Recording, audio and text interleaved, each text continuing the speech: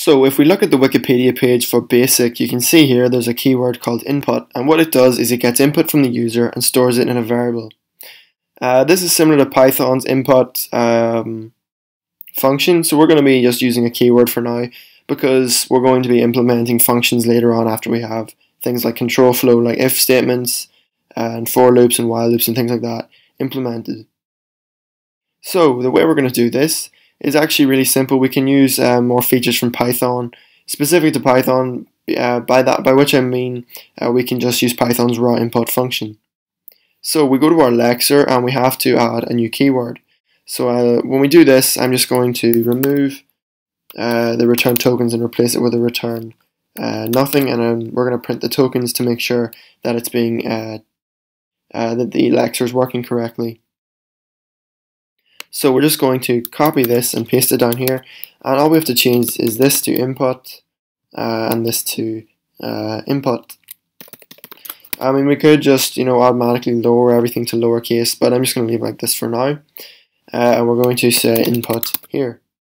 So now if I run this, actually before I do that, I have to actually use the function. So I'm going to say, um, this is the uh, syntax. It's going to say input and then we're going to provide it like a string. So if we wanted to say uh, enter your name, we would just say that, and then we would provide it a variable. So, whoops, uh, call it name.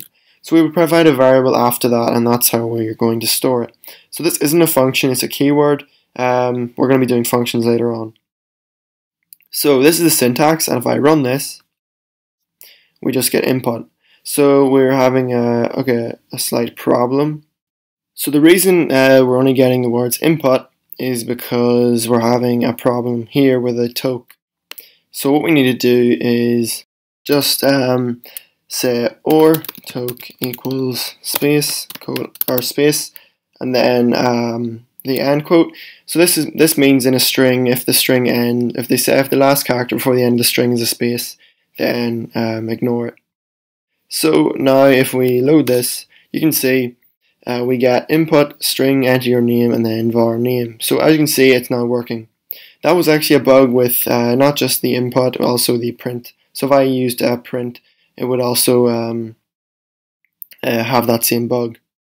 So now that we know our lexer is working, what we're going to do is we're going to whoops, return um, the tokens, and then in the parser, we're going to uh, actually make it work. So if we go into the parser, we can, uh, whoops, go in here and we'll say elif, and what we're going to say is tokes i,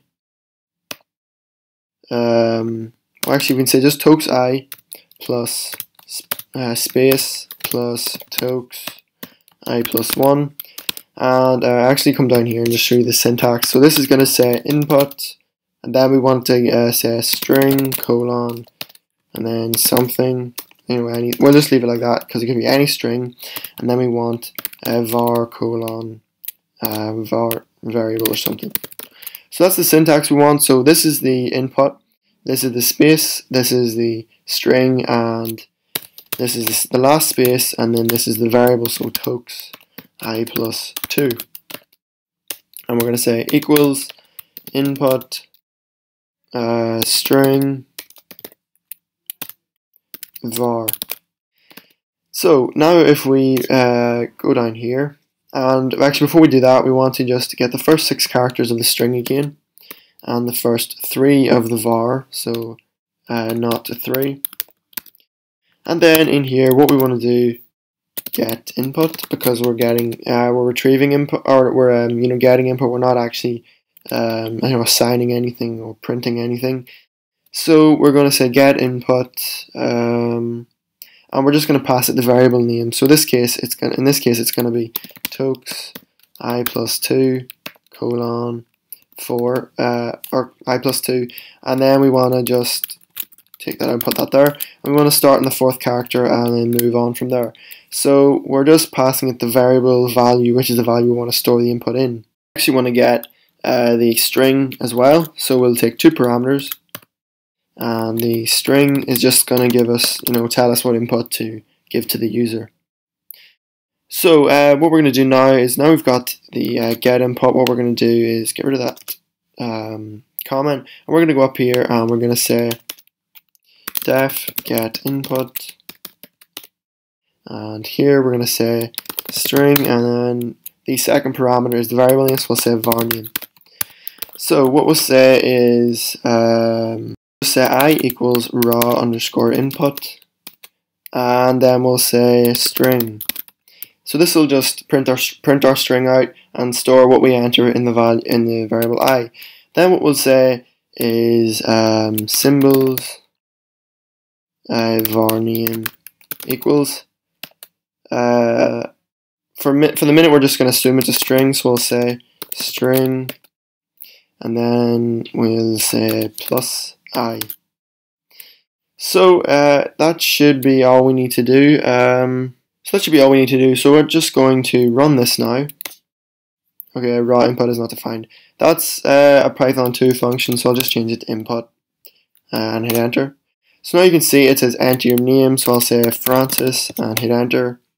Uh, okay, um, right, we have a slight problem. So as you can see, it's just going to keep asking us for stuff so uh, what we want to do is we want to actually start in the seventh character to get rid of the first colon because as you can see there's a colon at the beginning of all this. So if we run that now we say it says enter your name so I'll say Francis and I'll hit enter and it still uh, keeps asking us to enter our name. Asking us that is because we need to actually move on um, to the next token so we'll say i plus equals 3 because we're, three, we're dealing with 3 tokens. So if I run this and I say enter your name Francis you can see the program exits because all we're doing is getting the input and storing it in the variable name. Then what I'm going to do is I'm going to say print name and it should print uh, what we enter. So I say Francis McNamee, uh, okay, it prints it but it misses off the first character. So uh, let's fix that now. So the reason it's cutting off uh, here, as you can see, is uh, actually because we left out the quotes around the string because as you can see it is actually storing it correctly. So if we go up here um, and we just put a quote around there. Oops another one there. And we put another quote here. Uh, that should fix our problem. Uh, so if we run this again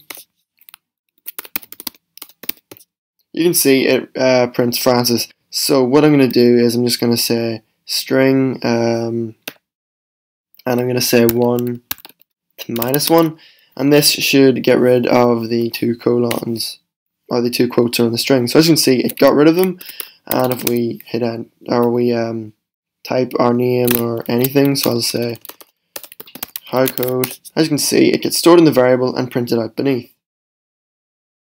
Uh, and what I'll also do is I'll just for aesthetics put in um, a space so if we run this again, now it says enter your name, we have a space between the input text and um, the uh, cursor. So if I say Francis McNamee, as you can see, it prints it out. So that's it for this video. Don't forget to like, comment, favorite, and subscribe. Uh, and follow us on Google+, and I'll see you next time.